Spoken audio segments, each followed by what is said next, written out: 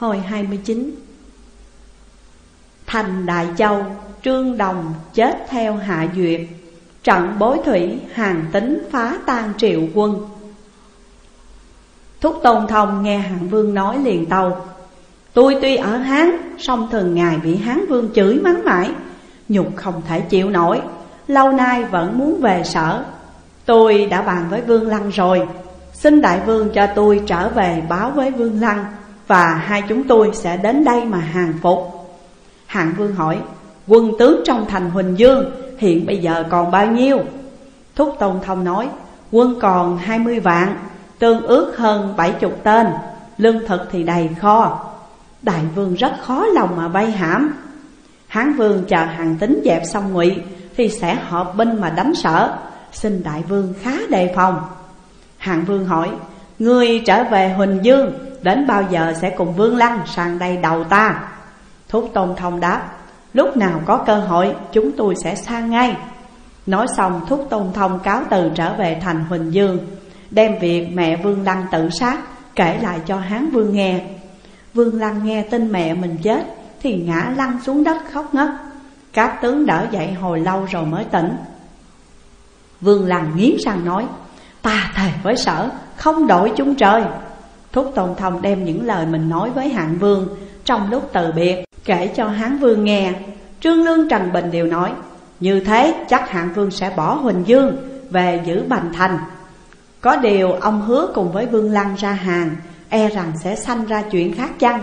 Bây giờ nên bắt một người tù đem chém rồi bảo rằng, Thúc Tôn Thông tư thông với sở, Rủ cả Vương Lăng hàng sở, Chẳng ngờ mưu cơ bị lộ nên đã bị chém. Hán Vương khen phải sai người làm theo kế hoạch của Trương Lương. Bên kia hạng vương nghe tôn thúc tôn thông bị chém. Nói với các tướng rằng, Thúc tôn thông bị chém, Kế ta đã hỏng rồi Thành Huỳnh Dương lại chưa lấy được. Nếu ở đây mãi, Hàng tính sẽ đến đánh Bành Thành thì sẽ nguy Chỉ bằng ta về thủ Bành Thành là hơn. Lòng thư nói, Đại vương muốn về thì xin rút quân từ từ Kẻo quân Hán hay được, Lại đem quân truy kích thì khốn. Hạng vương khen phải, ngay đêm đó truyền rút quân một nửa. Vài ngày sau thì mới triệt thoái. Quân thám thính dò biết vào tàu với Hán Vương. Hán Vương sai chu bột đem một toán quân ra khỏi thành, Cách hai mươi dặm đóng đồn canh giữ. Hạng Vương về đến Bành Thành, Phạm Tăng hay tin ra đón tiếp. Hạng Vương thuật lại việc thúc tôn thông phản Hán bị chết. Phạm Tăng vỗ tay xuống bàn rồi nói, Đại Vương đã lầm rồi. Thúc tôn thông là mưu sĩ của Hán. Theo phò Hán đã lâu, Khi nào lại có ý mà hàng sở? Đó chẳng qua thấy đại vương Vay Huỳnh Dương lâu ngày, Mà hàng tính thì chưa về kịp, Nên đã lập kế mà gạt đại vương, Giải vay thành, để về Bành Thành. Còn chuyện thúc tôn thông bị chém, Tôi chắc chỉ là chuyện bịa. Hạng vương như tỉnh ngộ, trợn mắt hét. Cái đứa thất phù ấy lại dám dùng lời dối gạt ta hay sao? Thế thì ta phải kéo đại binh trở lại Quỳnh Dương mới được. Phạm Tăng nói Quỳnh Dương phải nhất chiến nhất thắng. Đại vương mà trì hoãn lâu ngày Nay kéo binh trở lại thì e hằng tính đã về kịp rồi. Trong đánh ra, ngoài đánh vô thì rất là bất lợi. Xin tạm nghi quân rồi sẽ liệu. Hàng vương phải theo lời cho quân sĩ yên nghỉ. Quả thật giữa lúc đó Hằng tính bắt được ngụy báo và về lại Huỳnh Dương. Hán vương mừng rỡ nói Nguyên soái dẹp ngụy xong rồi, Giờ có nên động binh hay chăng? Hằng tính tàu, Hạ Duyệt Trương Đồng ở Đại Châu, Vẫn chưa có quy quản. Tôi muốn đánh trước tiên để lấy Đại Châu, Rồi thuận đường sẽ phá luôn triệu yên tề, Để củng cố lực lượng của ta. Đồng thời sẽ chặt vây cánh của địch, Sau đó sẽ đánh sở thì mới dễ thắng được. Hán Vương nhận lời Truyền dẫn ngụy Báo và Gia Quyến vào xem mặt. Khi thấy vợ ngụy Báo là Bạc Thị và quản Thị đều có nhan sắc hãng Vương thích lắm, Lưu cả trong cung rồi hỏi Ngụy Báo, Nhà người phản phúc, Nay đã bị bắt, Thấy ý nghĩ như thế nào? Ngụy Báo đáp, Chết là hết. Giữa lúc đó có tiếng khóc thét lên, Đó là tiếng khóc của mẹ Ngụy Báo. Một bà lão đã hơn 80 tuổi. Bà lão nói, Ngụy Báo vì ngu dại mà phạm pháp tội đáng chết. Tôi chỉ xin được có một mình nó để nói dòng tay nguyện. Xin đại vương niệm tình tha cho nó khỏi chết, Để khỏi tuyệt tự. Đó là ân đức của đại vương. Hán vương thở dài than, Đứa con trai lưng dài vai rộng như thế Mà ý chí lại thua một bà già. Thôi, ta cũng vị tình bà lão mà tha cho hắn khỏi chết. Liền truyền lệnh cách hết chức tước của ngụy Báo. Sai người giải về Bình Dương Cho cùng ở với Chu Thúc. Rồi đó, xuống chiếu sai hàng tính độ binh sang Đại Châu, Một mặt giữ Vương Lăng làm đại tướng Giao cho Tiêu Hà trấn thủ quan Trung, Hầu hạ thái tử để cai trị nhân dân, Lập ra tôn miếu xã tắc, Mọi việc đều tùy nghi định liệu.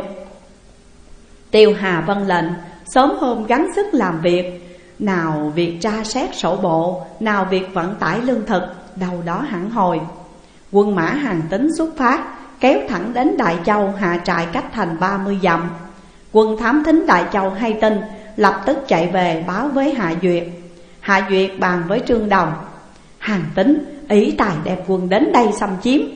Ta thấy lúc địch đang đường xa mới đến, Đánh ngay một trận, sẽ là tất thắng. Trương Đồng khen phải, Cùng với Hạ Duyệt liền điểm quân kéo thẳng đến trại của hàng tính. Trời trưa nóng nực Bày trận xong Hạ Duyệt sai gọi tướng Hán ra nói chuyện.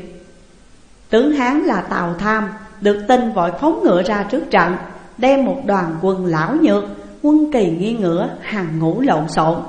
Hạ Duyệt thấy thế cười lớn, gọi Tào Tham nói, Người ta đồn hàng tính dụng binh rất giỏi.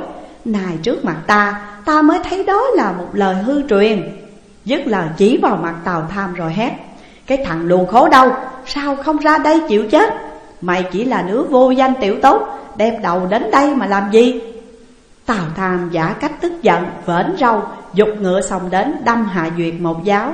Hai bên rước đánh chẳng bao lâu, Tào Tham bỏ chạy, Hạ Duyệt lại thúc quân đuổi theo. Bỗng có tiếng quân reo hò ầm ĩ, Bên tả quán anh, Bên hữu lưu quán, Kéo quân phục xong ra, Một lượt đón Hạ Duyệt lại. Tào Tham lúc bấy giờ cũng quay lại đánh. Hà Duyệt hoảng vía, Cố gắng chống đỡ, Nhưng thấy cô không làm sao địch nổi, Vừa đánh vừa lui. Mặt trời chen núi, Bình hán mỗi lúc một đông thêm. Hà Duyệt tự nghĩ, Nếu không thoát thân, ắt sẽ mang tai họa. Liền nhắm con đường trống phía chân núi Bình Sơn, Kéo hơn một trăm quân kỵ chạy vào. Chạy được vài dặm, Đằng sau quân Hán vẫn đuổi theo. Trước mặt lại có một toán quân phục xông ra cản lại, Cầm đầu là Vũ Vương Hầu Phàn Khoái. Hạ Duyệt lúng cuốn không biết chạy đường nào, Chợt thấy mé núi có ánh sáng, Ngỡ đó là đường ra, Cứ liều chết mà xông đến, Té ra đó là một hang đá. Phàn Khoái vừa rượt đến, Hạ Duyệt đã bỏ ngựa, Bò lên đỉnh núi để trốn. Chẳng ngờ một tiếng pháo nổ, Hàng tính dẫn một toán quân hiện ra, Bắt sống Hạ Duyệt đem về trại. Bây giờ trống đã điểm canh hai, Trương Đồng ở trong thành không thấy Hạ Duyệt về. Biết Hạ Duyệt đã lâm nguy, Toan đem binh cứu ứng Thì quân thua trận chạy về báo. Trương Đồng lập tức dẫn quân vào thành, Đóng chặt bốn cửa để cố thủ, Không dám tính chuyện ứng cứu nữa. Hàng tính bắt được Hạ Duyệt, Đem về đại doanh hỏi, Hán vương đức dày nghĩa trọng, Sao chúng bay không chịu hàng phục?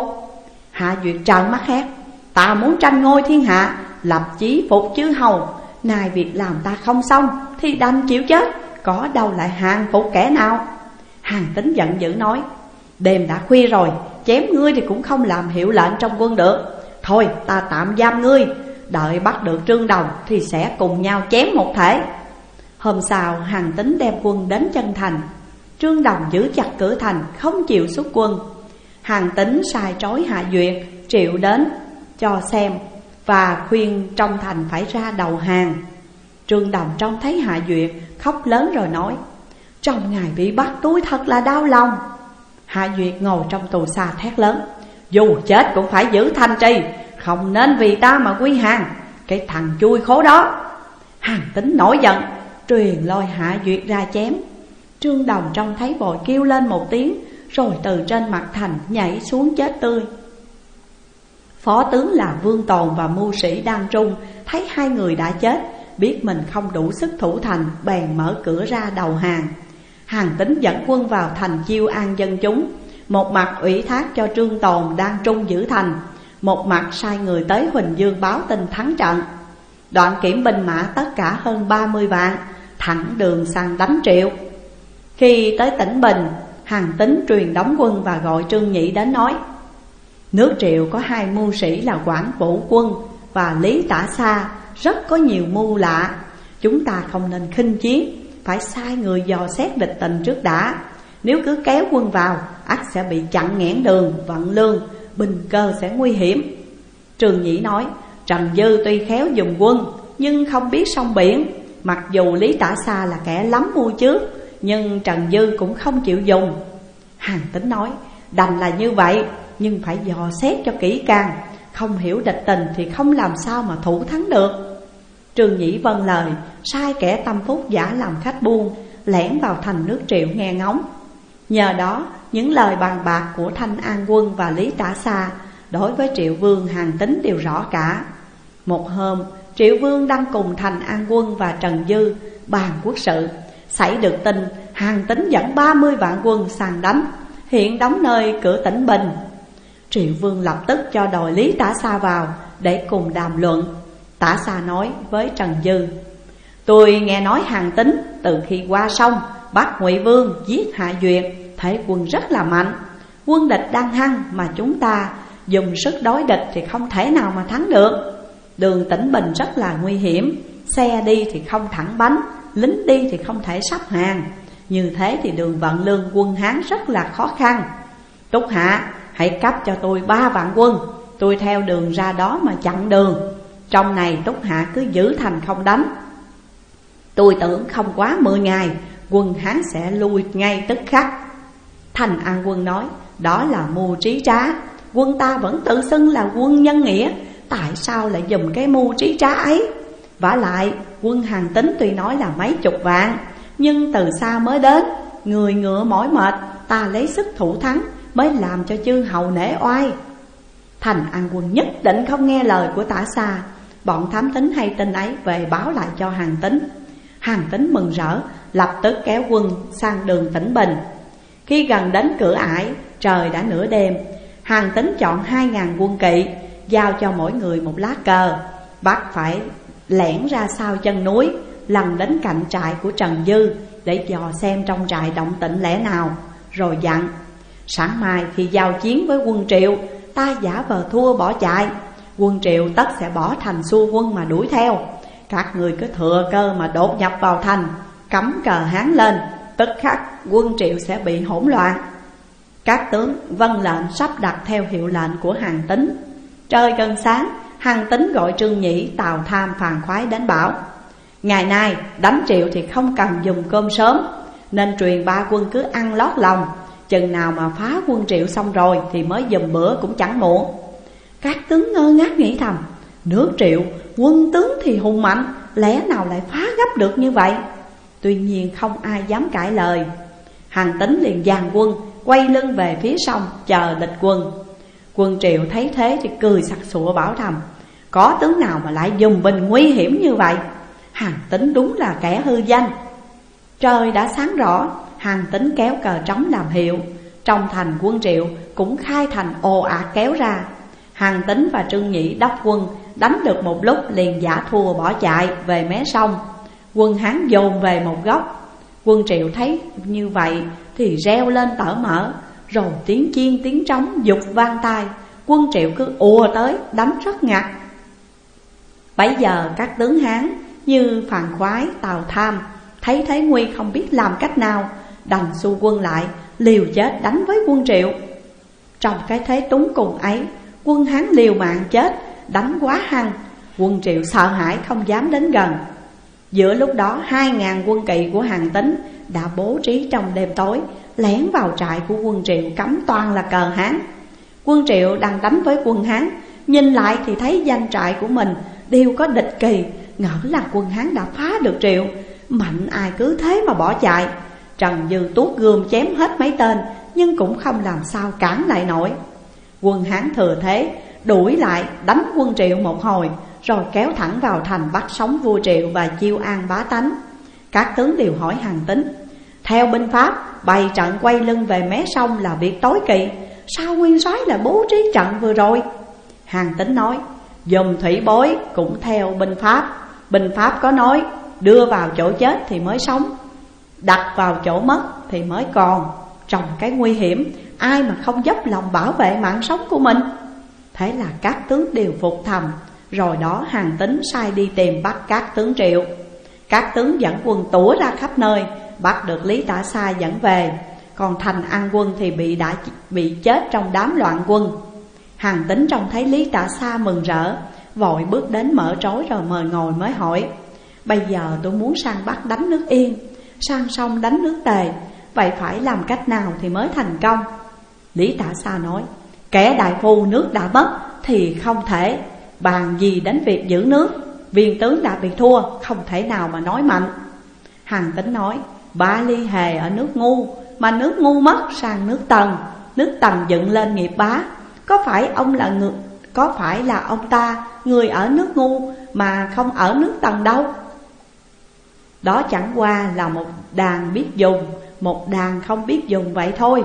Nếu thành an quân chịu dùng kế của ông, Thì nay tôi đã bị bắt rồi, Có đâu mà ngồi hầu chuyện với ông được. Tiếp đó hàng tính lại dùng lời tân bóc Lý Tạ Sa, Coi Lý Tạ Sa như là một bậc thầy. Lý Tạ Sa mới nói, Tôi nghe nói, Kẻ khôn nghĩ một nghìn điều, ắt phải nghĩ đến một điều lầm. Người ngu chỉ nghĩ một nghìn điều, Thì ắt sẽ có một điều phải. Bởi vậy, dẫu lời nói của kẻ ngông cuồng, Thánh nhân cũng đem ra mà lựa chọn. Kế của tôi chưa chắc là đã dùng được. Tuy nhiên, tướng quân đã gạn hỏi, Không lẽ tôi không giải bày? Tướng quân bắt ngụy báo, Giết hạ duyệt. Cả đến thành an quân là người có mưu lược, Chỉ có một trận tướng quân cũng hạ được cửa tỉnh Bình, Phá được hai mươi vạn quân triệu, Khiến cho khắp thiên hạ ai ai cũng nghe danh. Đó là chỗ sở trường của tướng quân. Nhưng bây giờ quân sĩ đang mỏi mệt, Nếu kéo binh sang đánh yên. Trong lúc đó nước yên thì đang mạnh mẽ. Tôi tưởng đó là chỗ điểm yếu của tướng quân. Người dụng binh giỏi không khi nào đem cái nhược điểm của mình Đối chọi với cái ưu thế của kẻ khác. Hàng tính hỏi vội, Theo ý tiên sinh thì ta nên thế nào? Lý Tả Sa nói, Cái kế của tướng quân bây giờ không gì bằng Là cho quân lính phải nghỉ ngơi, Bồi bổ thực lực, Lấy quy danh của mình Đem phủ dụ yên và tề. Tôi tưởng tướng quân không kéo binh tới Yên tề nó mới sợ. Hàng tính nói Vâng, lời dạy của tiên sinh rất hay Tôi xin lấy kế đó mà làm lòng. Liền viết một bức thơ sai Tùy Hà làm sứ Sang nước Yên còn mình thì vẫn đóng quân ở nơi nước triệu. Nước yên từ khi nghe hàng tính đã phá triệu Chém thành an quân Dần chúng nhốn nháo không an. Vua Yên thấy vậy rất lo lắng Đòi mưu sĩ khoái văn thông vào để nghĩ kế. Văn thông mới nói, Thế quân hàng tính tuy mạnh, Nhưng chinh chiến đã lâu ngày, ắt đã mỏi mệt. Hiện nay hàng tính đóng quân nơi nước triệu, Sớm tối sẽ cho người mang thư đến đây dụ hàng. Nếu như có người đến, Xin đại vương chớ nhận lời vội, Để tôi sang triệu dò xét địch tình rồi sẽ liệu. Yên vương nhận lời thì quả nhiên chẳng bao lâu, Tùy Hà lại mang thư đến. Vua Yên xem thư xong Truyền đặt tiệc khoản đại Rồi phái văn thông sang triệu Dò la tình hình của quân Hán.